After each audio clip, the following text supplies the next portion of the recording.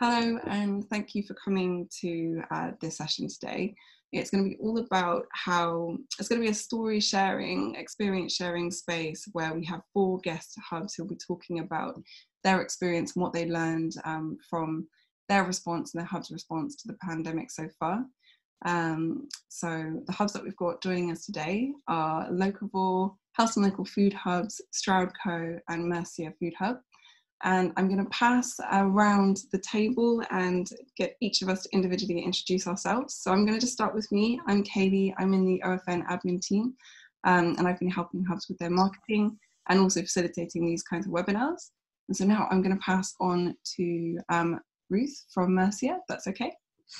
Yeah, that's fine. Didn't know which way around you were going. So, hi, I'm Ruth Redgate from Mercia Food Hub, and I've been operating for where are we? Ooh, since 2017. And I'm going to pass on to Doro from Locavore.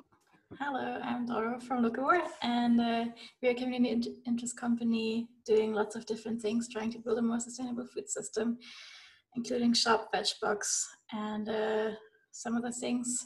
Um, and we use the Open Food Network for our veg boxes. Great, thanks, Doro. And now I'm going to pass on to James from Stroudco. Uh, hi there, everyone. Yep, James here.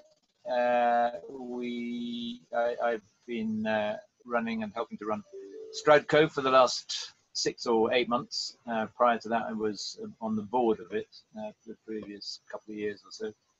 Um, we're a CIC, and um, I'll be happy to share our story in the next few minutes. Great, thank you, James. I'm going to pass on to Al from Helston Local Food Hub.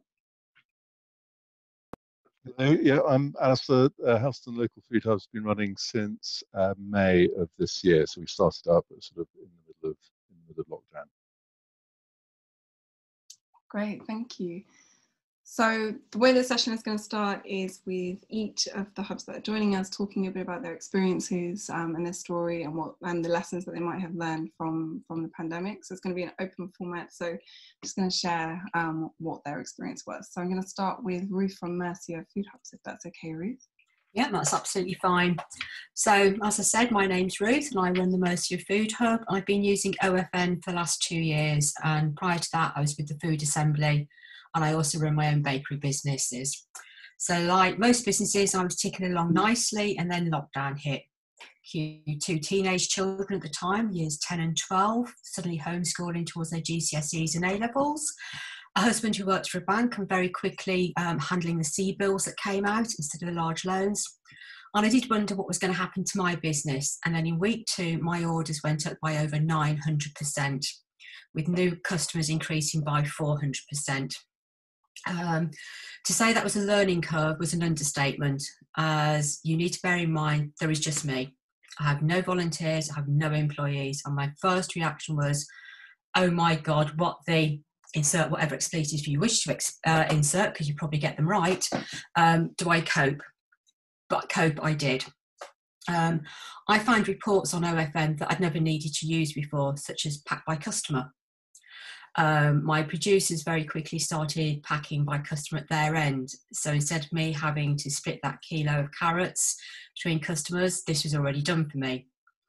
Some producers had to be temporarily removed as they couldn't supply us for one reason or another, which was fully understandable given the circumstances, although equally frustrating that we couldn't continue to offer our full range of products. Um, I was still travelling to collect the veg and now coming home with a car overflowing. Cute teenage son. It was useful to have him at home. And loading that with me on a Wednesday, and then bless him helping me to reload that car on a Thursday for that collection point. We expanded our collection points and managed to secure one in a neighbouring town that we'd been after for ages. So we now do collections on a Thursday, Friday, and a Saturday, and deliveries boy, did those go mental. I'd never offered them, I still don't formally offer them in my local city. But I advertised that I had limited space and that people needed to contact me before placing an order to see if I could accommodate them. Of course, I always did. And at that point, although I didn't have any volunteers, still don't have any volunteers, I did have friends who were customers a local supplier, and indeed a new customer who all offered to help with those deliveries. I'm still constantly on the lookout for new producers, and yes, we did sign some up during the height of the lockdown, which was also appreciated. As I've said, I've got two businesses, so I was doing 12 hour days on both businesses, and this increased to about 18 when it came to a Wednesday, which is my baking day, and I have got bread on the go while we're doing this, and a Thursday, my busiest day for collections. So I didn't get a chance to redecorate by the size of my next door neighbour, they knocked their house down virtually and rebuilt it. Um, but it was interesting towards the end of lockdown and also a bit demoralising to watch customers' buying habits change, especially with children going to school and people returning to work. They felt it was okay to return to the supermarket or manage to get a delivery slot from them. Yes, we are and I think some quite a few food hubs are more expensive than uh, the supermarkets. We don't all have the basic essential items, although we do stock toilet rolls from Who Gives a Crap. But we were there for them when the supermarkets weren't, and that was the demoralising part for me. Some customers have disappeared altogether, others dip in now and again, and others still use us for the luxury items even explaining now that they get out, they've returned to the butcher and the farm shop direct. So at least they're still buying from local suppliers. We're now a slow food supporter and work closely with Slow Food Birmingham, sharing producers and thus sharing postage cost and reducing the carbon footprint for those items that cannot be delivered easily to the landlocked Midlands, such as fish only this week I've had a chance to revisit some of my producers that came on very, very quickly at the beginning of lockdown and revisit all their pricing and what we've listed. With regard to a second lockdown, whether that's national or local, would I do it all again? Yes, even with hindsight, I would still do those hours. I would still do exactly what I did when lockdown hit. It's my nature, it's what I do. I help people. Am I prepared enough? I'd like to think so, but until that second lockdown hits and what it impacts with, we will never fully know. But OFN throughout that has been offering us training, such as these webinars, and has also constantly been updating the system, which has been very much appreciated, not only by the producers and the hubs, but also by the customers. Thank you. That's great. Thanks so much, Ruth. Um, and uh, we've got space at the end for questions. So if anyone has any questions for Ruth um, from her story, if you could pop them in the chat or hold on to them till the end. And um, we're going to pass on to Doro from Locavore to to talk about her experience from the from the first lockdown. Thank, Great, thank you. Thank you, and uh, thanks to Ruth. Um, so we've been impacted in lots of different ways in our different parts of the business. Um, I'd say the least affected was the farm. They just kind of kept more distance at a purpose, but they were they all kind of spread out anyway. Um, the shop was incredibly busy during the first panic buying. Um, but the sales just went insane. I think before that, the busiest day we ever had on a Saturday was like seven grand, and then it went to thirteen, and um, it, it was just mental. And it was it was good. Like we we did run out of toilet paper, we did run out of stuff, but I think we had things in for quite a long time, and we, they came back relatively quickly as well. So I think for many things it was like we were actually more available than the supermarkets around us so that was really nice to see. Um, we uh, made huge changes to the shop physically so we had the we had all the markings on the floor and we still have that in a one-way system and plexiglass and we check completely changed all the shift patterns. So we made it that we had four different teams that only work with each other and there's no overlap. And then we changed the shop hours as well, so we'd open earlier, which I think is mainly to make sure that people have enough hours and to make sure we can get everything cleaned. Um, but that means people at the moment start at six o'clock, which I think is really hard going. And I think everyone's looking forward to not doing that anymore. Um, uh, what else did we do? The veg packing, we do we have a big veg box scheme, and that also that was kind of challenging to switch around because usually they're all standing really close together, so they can all use the same, you know, veg. Um, that had to be completely redone, um, and that also meant we had to cap how many veg boxes we could do. We stopped taking signups. We have a waiting list now. Um, so we couldn't actually meet demand. Uh, there was a huge demand for the veg boxes, and we just couldn't do as many as people wanted just physically. Um, so that changed. We also we just like ten days before lockdown, we took over a cafe from friends of ours that wanted to move on, and then we ran that cafe for about ten days, and then we shut the cafe. Um, and it still hasn't reopened. We were thinking about reopening it, but Glasgow is now in a local lockdown and has been for like the past couple of weeks. So it's all shut again. Um, I think cafes technically can operate, but ours is in the city center, which is less um, less of a great location now that no one's there. Um, yeah, we, we're doing a lot more cleaning. We closed in the middle of the day in the shop to clean. Um, and we uh, we tried doing an online shop, which was very popular initially, but um, the system we had for it wasn't good enough. So we tried to have something that integrates with our tills. We wouldn't get the, so we would stop selling stuff that we didn't have, but it wasn't working well enough. So it was kind of a bad experience for customers. So we gave up. And I think like we're going to get a new till system soon and then we might try again, but we just stopped doing that. It wasn't working. Um, everyone that can is working from home. Um, so I'm working from home, and the accountant's working from home. Uh, the the person that's managing wholesale is working from home. The people that do the veg boxes are partly at home and then do one day in the office um, a week.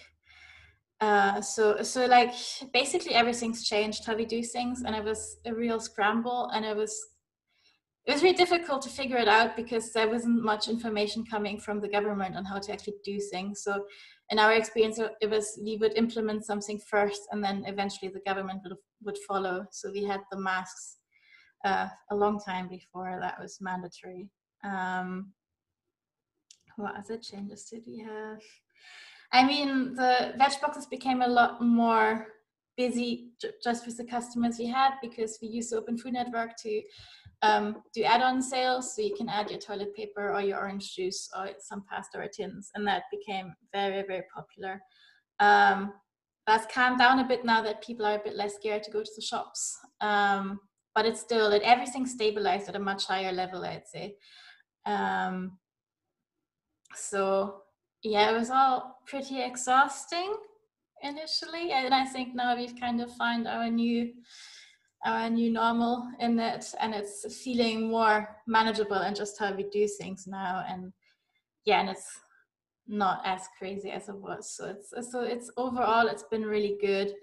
Um and i think yeah i think everyone was really exhausted but yeah we're, we're all getting on better now. And we're actually doing new stuff. Like we had a lot of things planned before the pandemic hit like we wanted to open a second shop and we wanted to take on a new market garden and both of these things are happening now. So um so, so yeah it's kind of it's, going all right now and uh, we're kind of getting back to doing stuff we wanted to do so that's really nice. Um what else?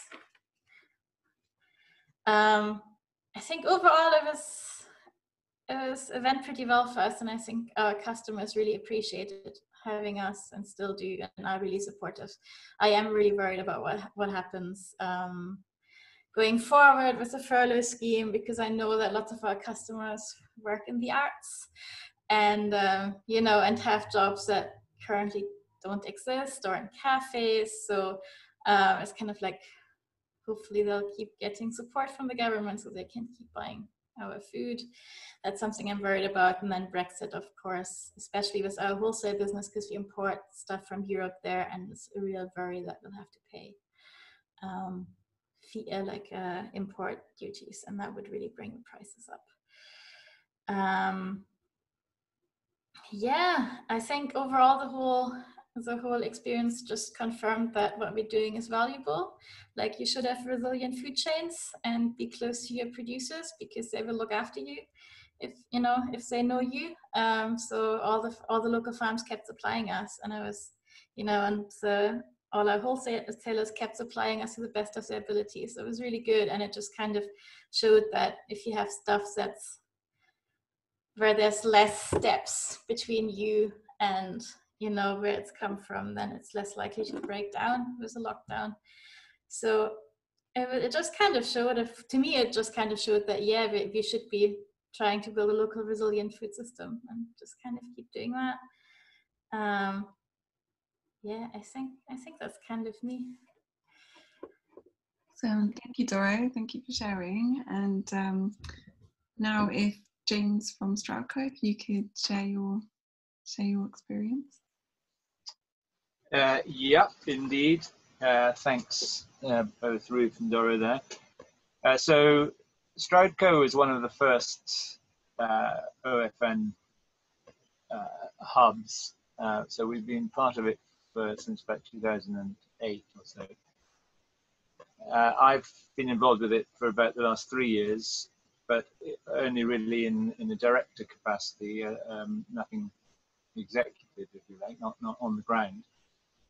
And then come November of last year, we had a bit of a management change and um, we decided that we would suspend the service for about four or five months and reinvigorate it, uh, look at it again, probably change premises.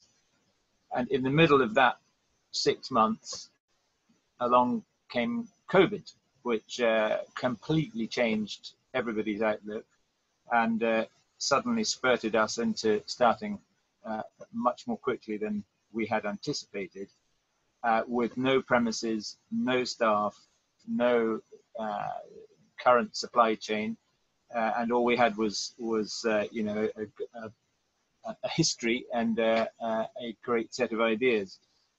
So we went from naught to 60 in a very short time.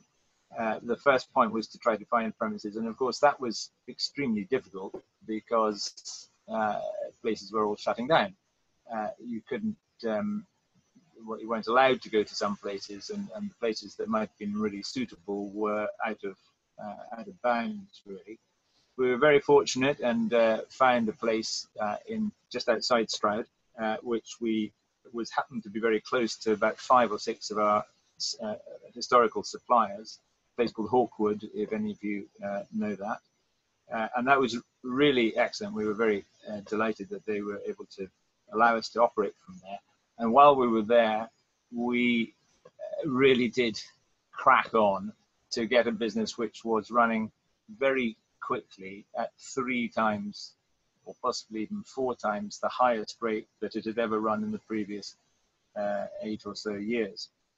So that provided all sorts of problems. They've all been referred to uh, already by Ruth and to, to a certain extent by Doro as well. And it, it is a complete uh, slap in the face. You know, what do you do when suddenly you've got loads of people demanding your service and yet you've got to be there to to uh, deliver it without any uh, sort of ruffles.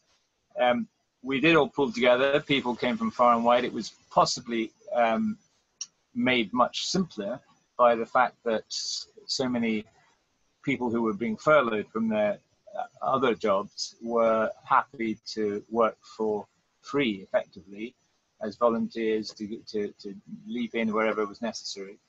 Uh, and so th- th- there was a sort of crutch, if you like, in the form of those people that were uh, available but wouldn't otherwise have been. Uh, so we were turning over previously in the order of about six or seven hundred pounds uh, a week, and it went up to way over two thousand in about three or four days of, of having reopened, and it kept that up for the full length of um, spike one, if that's what we can, if that's what we can call it. Part of the um, problems that we had to deal with were the shutting down of many of our suppliers. So if we hadn't operated, it was uh, would be absolutely certain that a good half dozen of our regular suppliers, who are all very fine small businesses in this area, would have completely shut down and probably not started again. So we were delighted to be able to offer the service in order to support the supply chain. But equally, we were being called, as Ruth has already indicated as well, by heaps of people that hadn't ever called us before. Uh, so we, we had a balancing act, which we were um, happy to, to uh, deliver on. And that really was the um, basis of, of how it operated for that first period of from March through till back end of June, July time. Um, we also had a new management team in place, and of course that uh, means you know getting used to each other and working things out. Uh, there was new members of the background team as well on, on the board of directors, if you like. Uh, so we were all hands to the pump and uh, kept things going. And then we had um, what you might call the half-time interval when uh, Spike 1 kind of drew to a close and just before what we can now probably review, uh, view as Spike 2 happening. Uh, that was uh, interesting because our first set of premises were only available to us during the course of the initial spike. So that came to a close. The Hawkwood uh, College reopened, and that meant that we had to find new places, new premises again, which we thought was going to be a complete pain, but in fact it was possibly a lot easier than we anticipated because there were other companies and other organizations, very much like-minded spirits to Stroudco, not necessarily in the food business, but very much wanting to uh, preserve the community spirit and to work together uh, with us. So we're we're now all in a new set of premises, which possibly has a much stronger basis than we uh, than we thought would be the case. Um, and that uh, was alleviated also by a uh, small grant that the local town council uh, offered us. That obviously had to apply for it, but they they were very keen to back the local supply chain and that money was a couple of thousand pounds to be spread over two financial years has been very useful to get us into the new premises and, and sort ourselves out. Um, so uh, that that would be one aspect which I don't know hasn't been mentioned before, but small grants from the local council are certainly something which uh, can be tapped into. Um, I think what it has been things are definitely settling down, and it's now probably settling down at, at twice the uh, amount of business that we'd traditionally done at a kind of average pace. So it's it's still very very much busier than it ever was, and uh, and that seems to be the norm. I think we can detect it starting to rise again already, and that is great news. One of the um, points that I'd really like to make here is how the um, number of self-isolating customers, uh, vulnerable people in some um, instances, but in many instances just regular, probably slightly older uh, people who are absolutely unwilling to leave their front doors to go shopping, don't trust the supermarkets. In fact, in many cases, really live in places um, which the supermarket, traditional supermarket box van wouldn't even be able to get. And, and they are uh, absolutely um, reliant on other people's services. And I think what we collectively, uh, all of us sitting around the, the, table here, can offer is a friendly local service, which is uh, harmonious with what people are looking for in, in, in, the local area. So we get great feedback from uh, these customers, and, and, and a surprising number of whom are uh, not technically competent. So other people, often members of their family who, who don't live anywhere near where we operate, I mean, maybe the other end of Britain or in London or wherever, uh, place the order on their behalf. So these sorts of so-called buddy type uh, arrangements uh, have proved really quite a, a new phenomenon to us, and, and certainly are ones that uh, we're keen to work with local uh, community groups, council as well, possibly, to try to access and find how we might be able to um, make that work a bit better.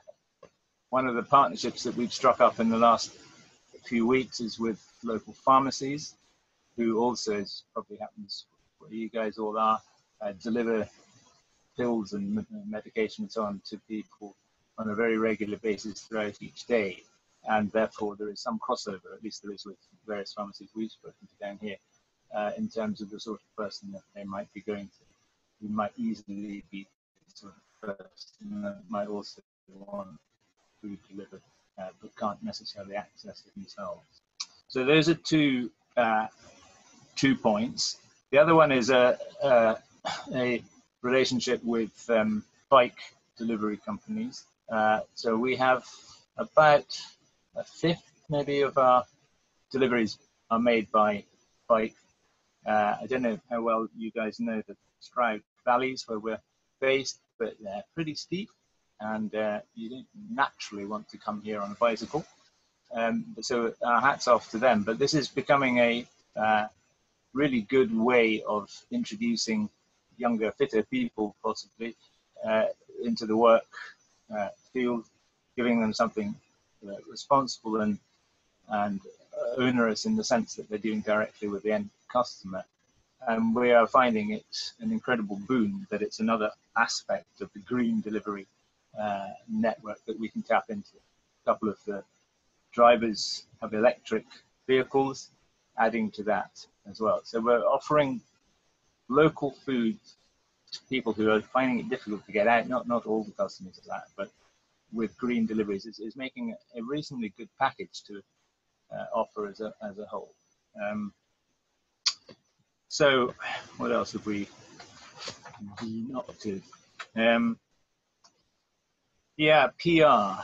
That's another thing. Uh, Stroud, uh, Stroud is quite well known for having views and having uh, uh, lots of particularly food and uh, ecological um, opportunities within it, and, and the opportunity to tap into and to piggy, pig, uh, piggyback on, coattail on those uh, things is very high. Uh, it's been a really good way of of us um, being able to reach new customers and to uh, sort of solidify the relationship with uh, existing customers.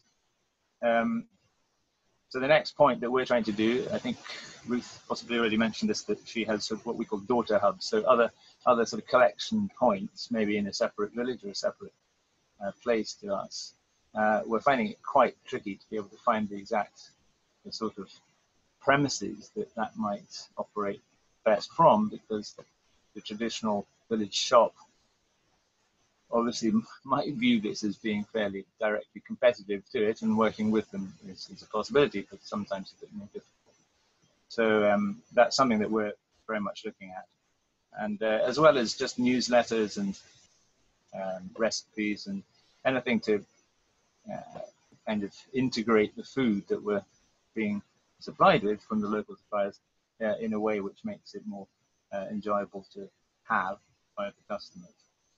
Um, I think that's probably probably me.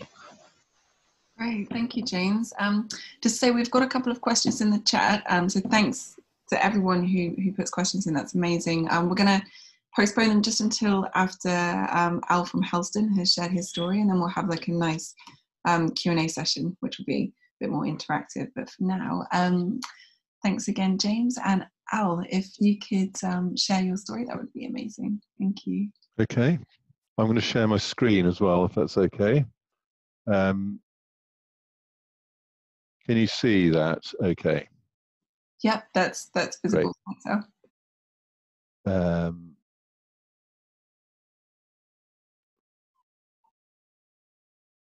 oh, I've forgotten how to slideshow.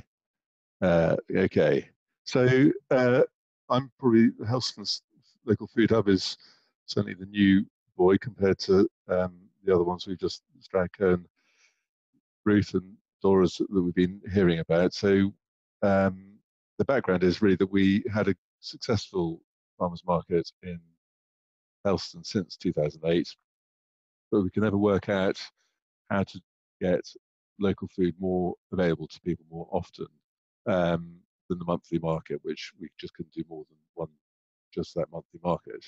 And I had heard about Stroudco, and that was a bit of inspiration really as to how the Open Food Network could help us fill the gap between those markets. Um, uh, and I had started to talk to people because I'd, I'd um, my circumstances changed. I left my job, and I had a bit of time. So in February, I started talking to our producers at the market about the about uh, running a local food hub, and there was some interest in that. But of course, then COVID happened, and there became a lot more interest uh, in that all of a all of a sudden. Um, so we needed to move quite fast. I think where I was probably planning to set up a community interest company uh, and gather some other members of the team volunteers, etc.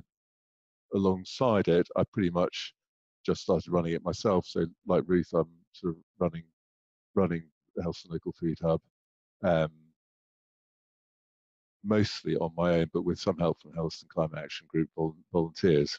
So we started with Helston Farmers Market producers uh, early on. Uh, about 10 of them joined.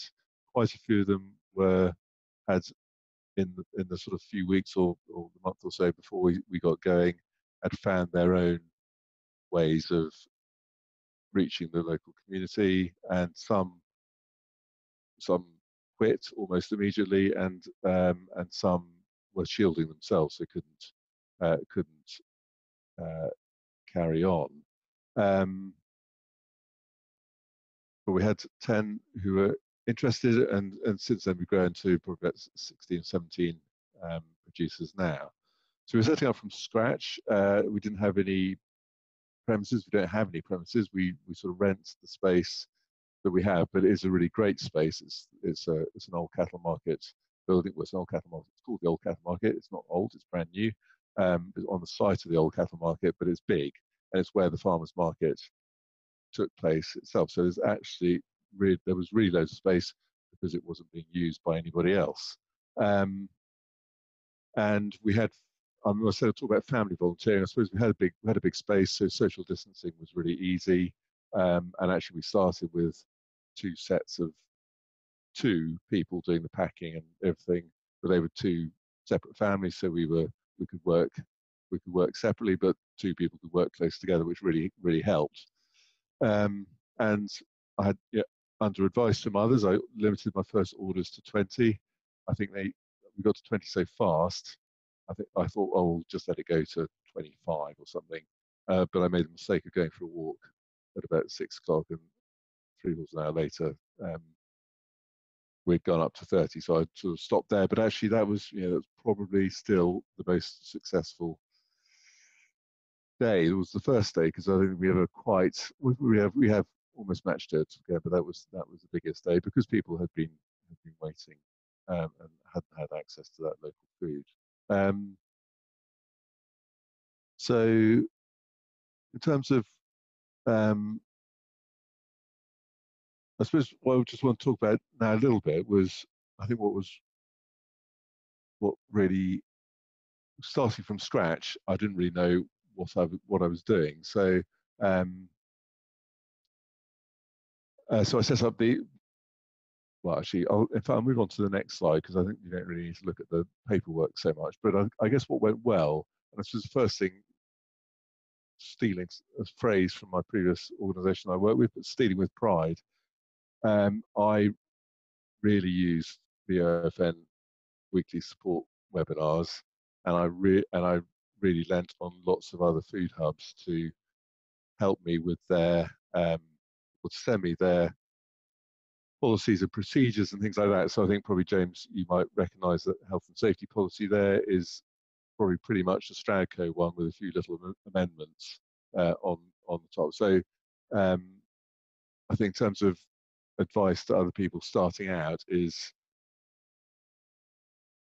get whatever you can off other people and and amend that to your own um, to your to your own needs because just knowing that this is what you need here's an example um, and for me not having done anything like this before i think um, carol from Stroudco sent me their sort of what we do each week and that was absolutely invaluable because i could just okay on monday i need to do this on thursday i need to do that and uh, and that's who i need to involve at each point. So that was super helpful and just things like procurement as well so finding out where to get insulated carrier bags from um, just just meant that I was able to get going much more quickly and be much more effective when I did.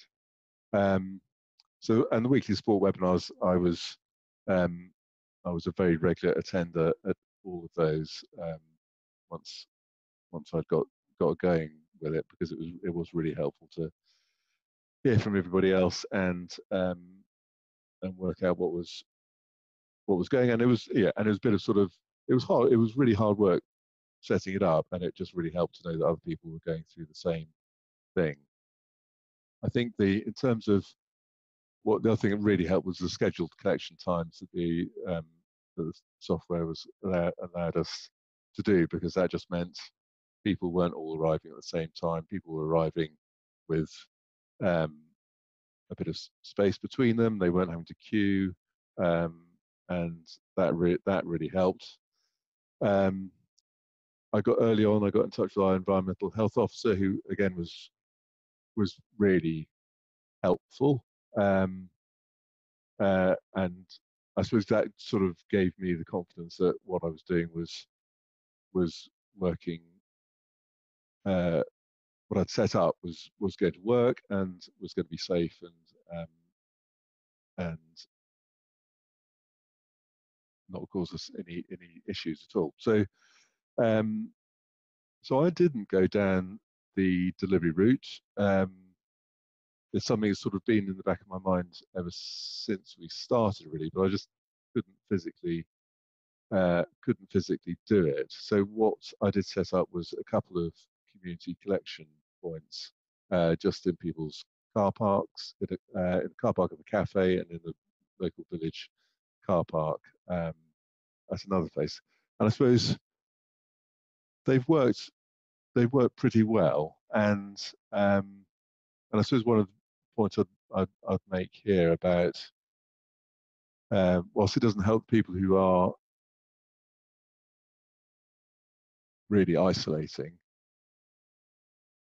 lots of people were quite isolated anyway. And I think actually some of those, well, both those collection points have become a bit of a community focal point, and people were certainly at the first ones, people people were meeting who hadn't seen each other for weeks because they they um, they'd been in in the houses or you know not not going anywhere. So um, so that the community collection point certainly had a had a real um, had a real value over and above um, just the collection of the, of the food. Um, and I think all of all the things that I set up with the health and safety policy, with the with the um,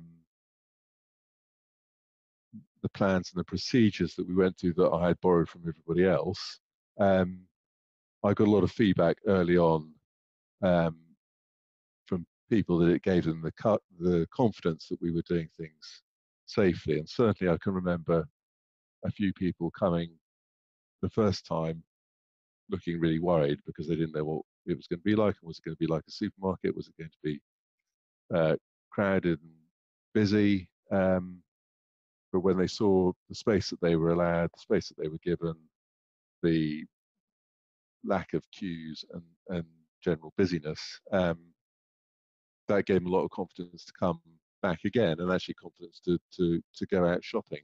I think so. Um, I think in terms of uh, I suppose issues for me in terms of uh, the second lockdown or, or the continuing issues around COVID. One is as a sole trader, or so you know, running this on my on my own. Um, it's pretty fragile and a little bit a bit vulnerable. I have got I have got help from from volunteers um, who could step in, but if um, if I catch a fever from you know I've got kids at school, it's going to happen at some point. um, then I'm going to have to isolate for a bit and and uh, what happens then. So so I suppose getting procedures in place for that sort of eventuality is is a is a a priority. Well, I've got it I've, I've got it resolved, but it's um, uh, I need to be sort of sure and secure about that.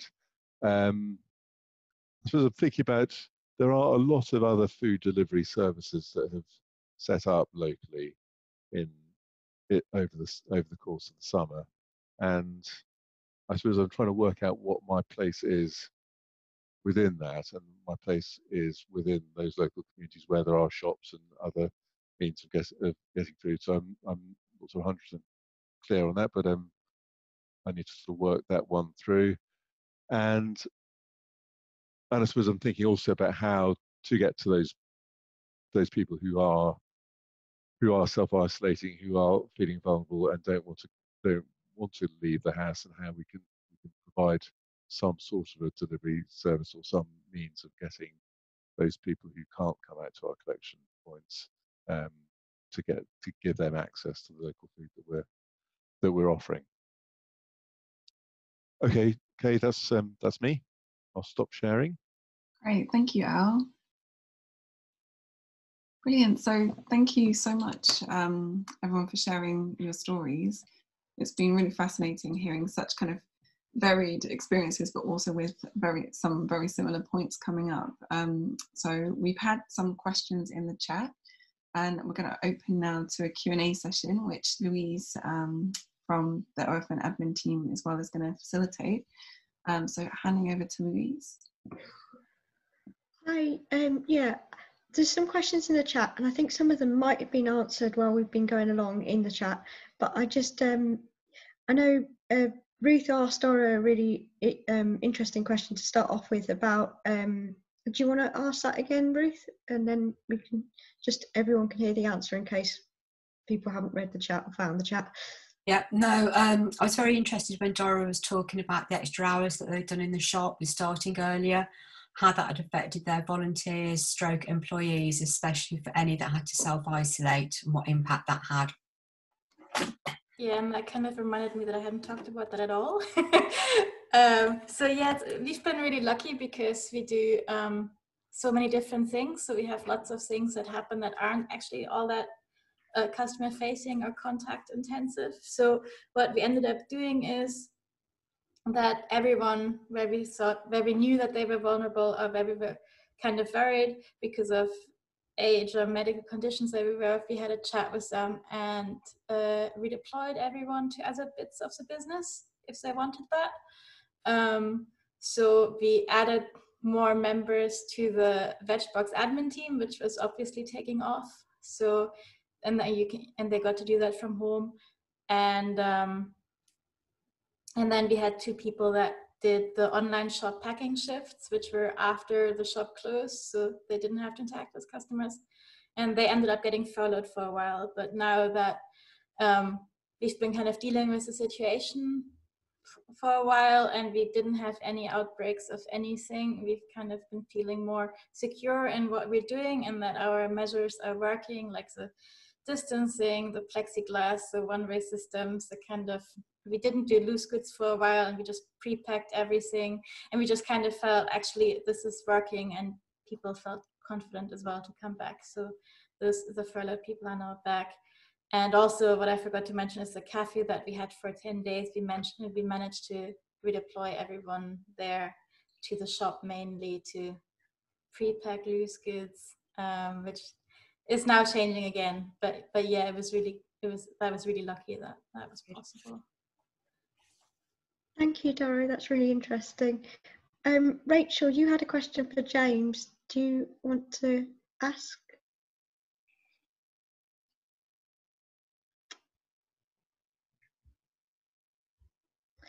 I think um, you might be still muted, Rachel. You, um, Sorry, there we are. It's okay. um, you, you mentioned local council grants, James. Um, can you give an overview of, of what you used that for? Was it for the rental of premises or for something else? Um, it was ostensibly offered right at the beginning of COVID. So it was designed to assist uh, uh, any applicant to address uh, COVID related or likely COVID related problems. It was probably um, March or April or sometime that they were offering this. So it was very early. We, it was very, very difficult to predict what was going to happen. Uh, when, when the grant was actually paid, which was probably uh, the back end of April or maybe the beginning of May, and, um, which, which happened to be our financial year. So that was quite uh, fortunate.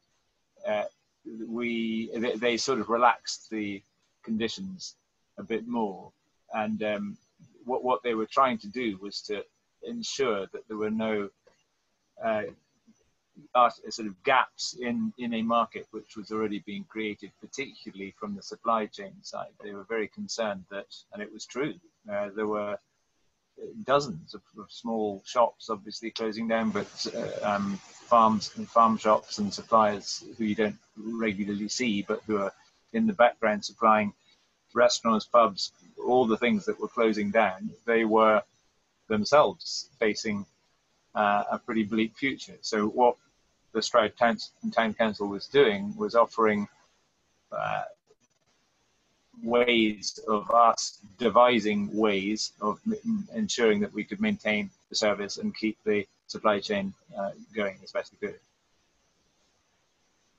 Thank you. Thank you, Yeah. James. Um, can, can I run through all the other questions and then if they've got other questions at the end, we can come back to them. I just want to give everyone time who's already put a question in. Is that okay, Rachel? Sure, go ahead. Yeah. Um, Sarah, um, you asked, uh, you had a question for James. Um, Yes, uh, James.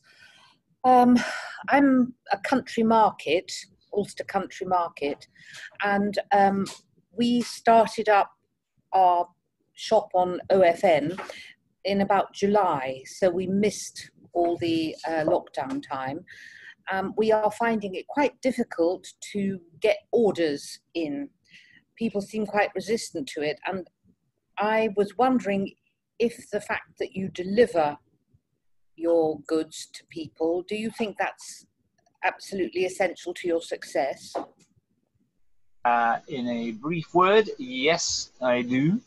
Uh, we completely stopped collections throughout the period from March to uh, August, and we've only reintroduced collections uh, since since we moved premises for the second time in uh, the back end of August.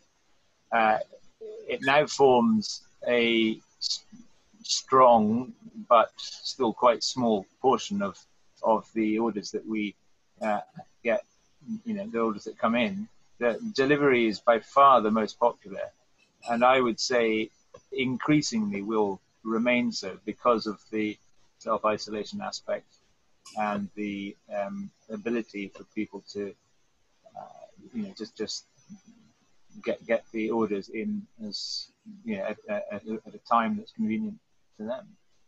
And um, how did you find your people to deliver? Okay, so during the first part of the COVID, uh, as I mentioned, there were lots of uh, spare people in the sense that they were all absolutely fine and healthy and, and so on, but were being furloughed from whatever job it was, and therefore they were not allowed to earn money directly through that line of business. But they were able to earn money on a part-time basis, or, or at least uh, have costs covered and so on. Uh, so we we were um, inundated. I think would be a fair word to use by people who were in that position. So these were tended to be people in their maybe in their twenties uh, and uh, were, were, quite uh, up for for assisting in almost any uh, capacity. Since then, it's definitely tailed off. I think maybe Ruth mentioned this right at the start. People have tended to go back wherever they might have been uh, from initially or working, and that number the numbers have gone down, but um, you know there's still a core number of people there who, who are uh, willing and wishing to um, join join in and assist in, in a community project really. As the volunteers? Yeah, they're all volunteers. The, there is no way that an organization of our stature can actually make payments in the traditional sense with all the concomitant NI and all the rest of it. And obviously, as I'm sure you're all aware, any form of cash to a volunteer runs the risk of them being treated as an employee. So we uh, we obviously um, compensate for any uh, mileage, for any expenses, uh, all the norm, normal things there. Um, plus, we give a discount and uh, free delivery and so on on orders placed. Well, that's very interesting. Yeah. So thank you charge um, for deliveries on the OFN website when people order. There's a, a delivery charge added on, is there? Yes, you can uh, you can uh, make a number of different types of uh, charge, and you can just tag them with a different um, application. So maybe charge one pound for this type of customer and three pounds for this one, or five, or whatever the figure is, and then you associate that charge with the particular customer. So that's what comes up every time they place an order. Okay, well, I must I must investigate that because this is our big problem: is getting people, and I'm sure that now the weather's getting bad, we need somebody to deliver, and our orders will increase. I hope. Well, I would really seriously believe that would be true. Yeah, certainly, as you say, as the as the nights start to get earlier, it's uh, definitely a, an, another helpful factor. I think. Okay, thanks a lot. I, I wonder whether there's any um, other any other others of the hub managers, um, well, the speakers who'd like to contribute to this. I think Ruth, you wanted to say something about deliveries and how they've um, helped. Yeah, so I'm also got a country market hat on as well as same as Sarah. So, but with the Mercia Food Hub, we have found as well deliveries have made a huge difference.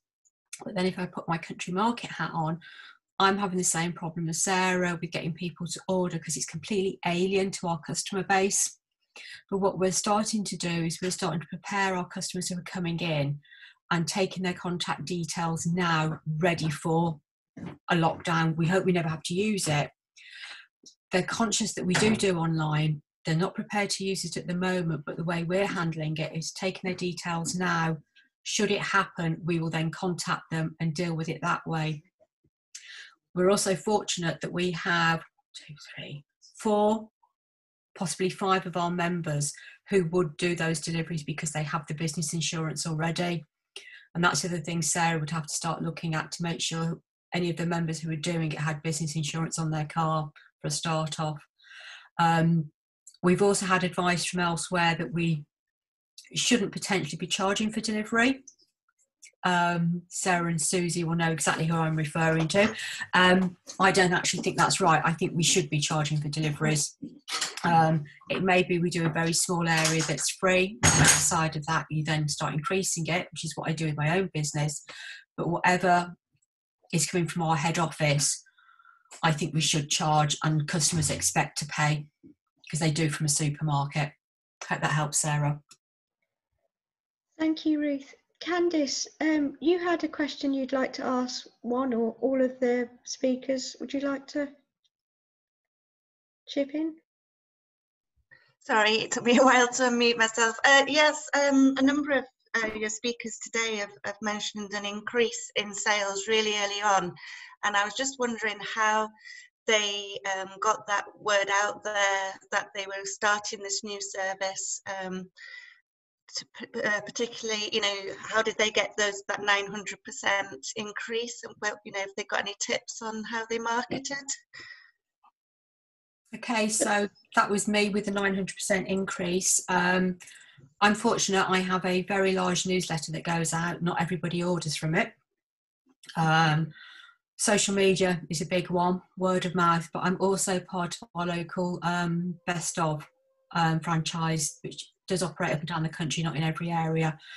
And they have a massive newsletter that goes out weekly, and we are talking in the thousands. And that's where most of my customers came from. Um, but if you can hit, it comes down to the, the basics. Social media is free, use it. It doesn't matter if it, ideally frequently, but if it is just once in a while, it will eventually drip feed and people will find you. Thank you. So, I, I, am wondering from um, with your experience at Helston, you'd have any advice because you, you're a similar situation. You sort of started up from scratch. How did you get the word out to your customers that you'd suddenly started um, open online trading?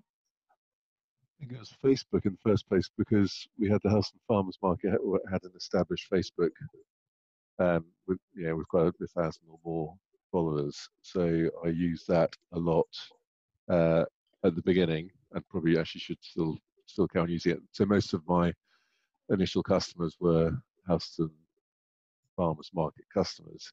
Uh, I think from then, I am did a little customer survey uh, a few weeks ago, and from that, the two most effective means were word of mouth and uh, and Facebook. So I'm very, I, have done a couple of press releases through the um, over, over the last six months, not many people um, seem to have picked up from it through through that. Um, and I think over time, I've had, I'm on, I'm getting a few every week. I get a holiday maker or two because we're in Cornwall, um, and they've done, they found it through just a Google a Google search looking for local farmers markets or something like that. So I think all of those things, but certainly word of mouth feels the most effective. The newsletter is absolutely essential. I see there's, there's a question later on about holding on to people.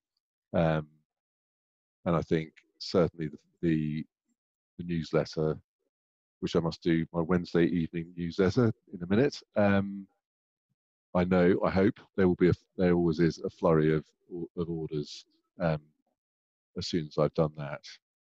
So that's very that's an effective way of keeping hold of customers. Customers. Thank you, Alastair. That's really interesting because it leads into John uh, Jonathan's next question. Do you want to ask um, the others, Jonathan? Certainly, yeah, yeah. I'm I'm here in Penzance, so I've had a few email exchanges with Alastair, although this is the first time we've encountered pixel to pixel. Um, so I've had a, like a long distance interest in in food hubs over the last decade, I suppose. And there's always been resistance here in Penzance. Uh, people sort of saying, "Oh, well, we so enjoy meeting people at the farmers market or whatever." Maybe I'm on the Asperger spectrum or whatever. I've never ever been a customer of the farmers market myself, although I do get a veg box. But but uh, I mean, it seems to me that the pandemic has offered this enormous opportunity to uh, to kind of push people into making use of things like this. And and it just feels like we really need to be on top of how to keep them after the pandemic is over. I think that that is my concern. So hence my question. Um, who would like to answer that? I think um, I'll, Alastair suggested that newsletters were really yeah. important. Um, and deliveries, really. I, yeah. I think that's. Uh, what about Ruth? What would you What would you think? I think this is something that you were mentioning to begin with that you were worried that people had sort of slacked off a bit. Um, yeah, I think um, I think we'd all agree we expected to lose people as supermarkets reopened. Um, probably not to the extent that I have. Um, but what I've also found has been really useful is at my collection points, people have used it as a networking opportunity. And every so often, I will put that in my newsletter that so and so is connected with a copywriter, has done this, has helped a school out. And it's interesting that then starts to get more people coming out of the woodwork for a while because they're fed up of face to face, uh, they're fed up of Zoom networking. So if they suddenly realise that they can come along, pick up their food, do some face to face networking in the car park, all safely distanced and everything, that's another avenue for them. And that has worked quite well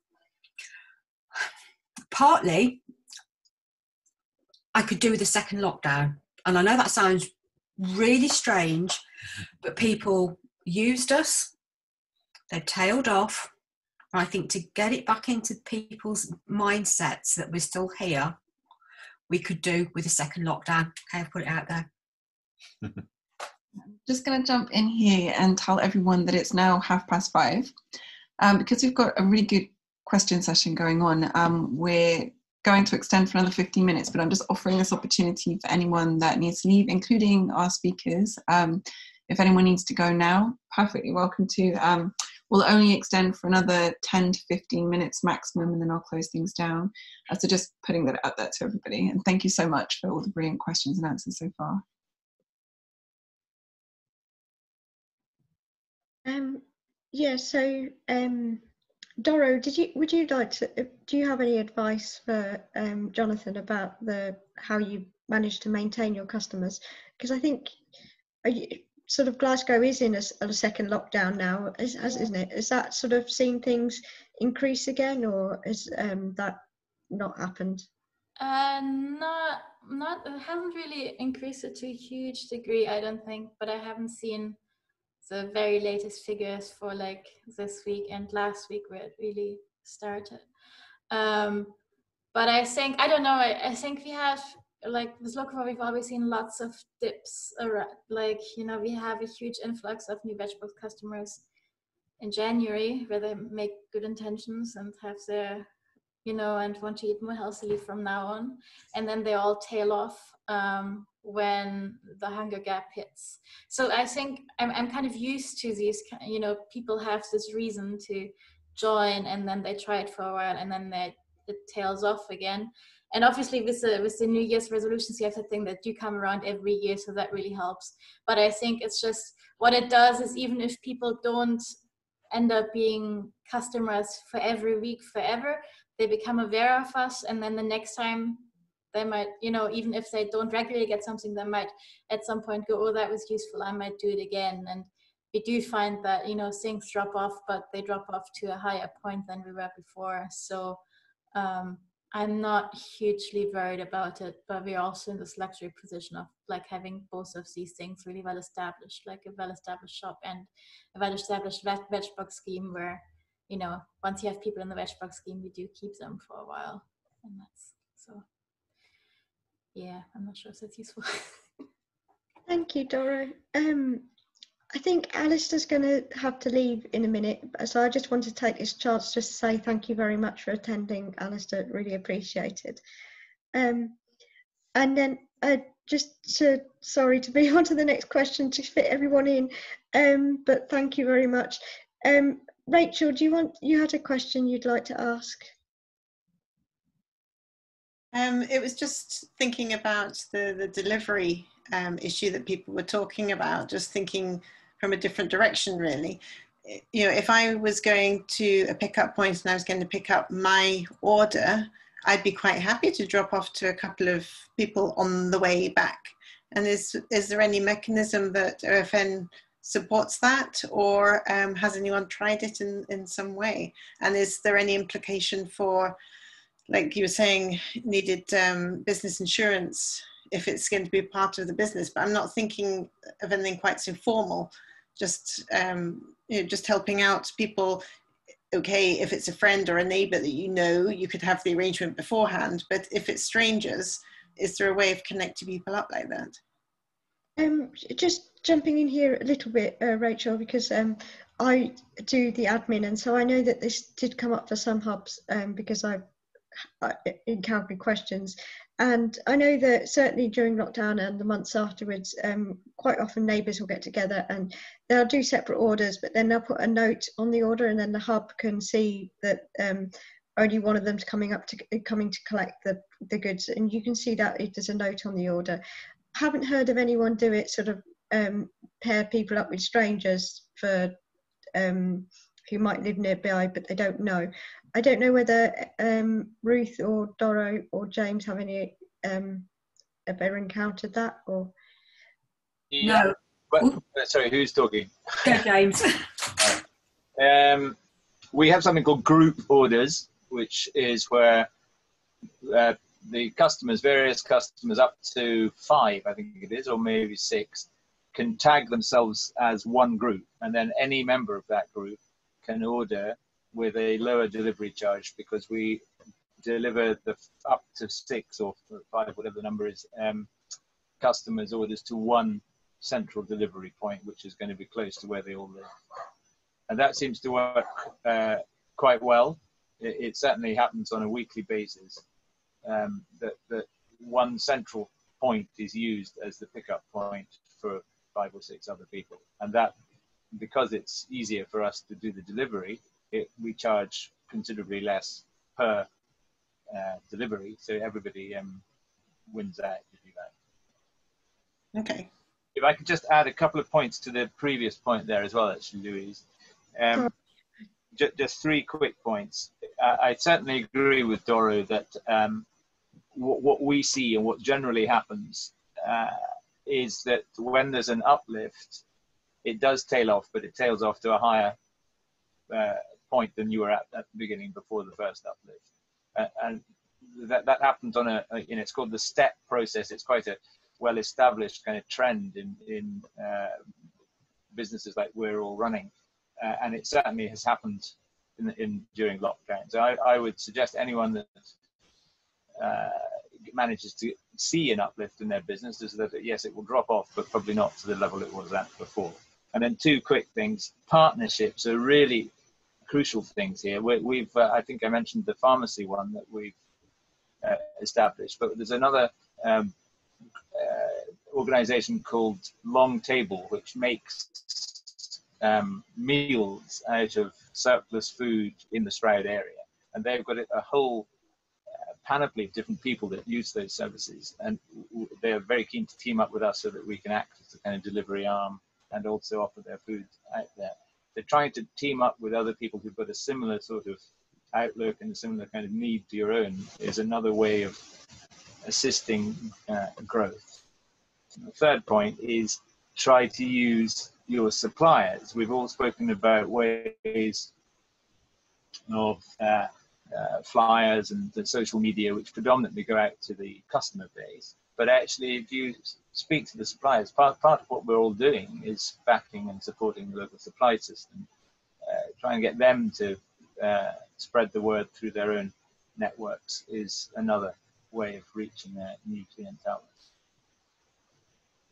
Thanks. Thank you, James. That's really interesting. Ruth, you were about to jump in. Do you um, yeah, um, just to add to that, one of my suppliers, not with me, but with another food hub that he works with, which is not an OFN, he actually does deliveries on his way home after he's done his drop. So you can actually, if you're lucky enough, producers might do that if they've got people on the way home. So don't just think about the customers doing it as well. That's really inventive. I wouldn't have thought of that. It's no. like this is this is so like this is so like why it's really good to have these sessions Right, we've got another um, seven minutes max. Is there any questions? Because like, please, anyone jump on mute and jump in now because I think I've read out all the questions in the chat. Um, I uh, don't. Uh, sorry, I'd quite like to ask one question about uh, community, uh, sorry, collection points. Uh, I think several people have mentioned that they have collection points. Ruth, I think you were one of them does this mean that there's a sort of dedicated do you go there with a bunch of different customers orders and wait for them to pick them up from you or do you leave them in a in a place for them to come to themselves both. No both um, so I've got my dedicated one in Lichfield, which is my original one on a Thursday. I go, people come and collect. Um, I'd been trying to get the neighbouring town, Tamworth, and that genuinely came out of um, a closed Facebook group for that area when I was advertising. So I, I go and stand in the, the car park of a restaurant there. But unfortunately, two of my producers on a Saturday will act as collection points. My butcher will act as a collection point, and my cheese gin and nail shop will act as a collection point. So I go and drop customer orders off there, and they then deal with them for me.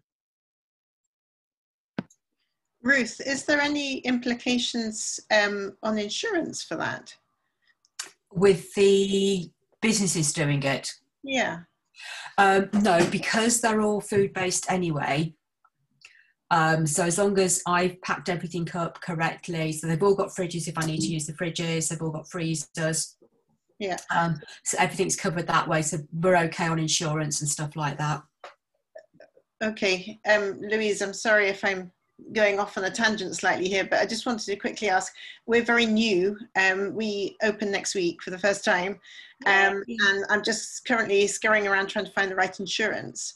And I'm trying to work out do I need to have insurance for the stock or just public liability and employers liability insurance? Does anyone have stock liability? I don't hold stock. Um, I, well, I mean, not. I'm, I'm not planning on holding stock only just for the few hours between drop off and whatever.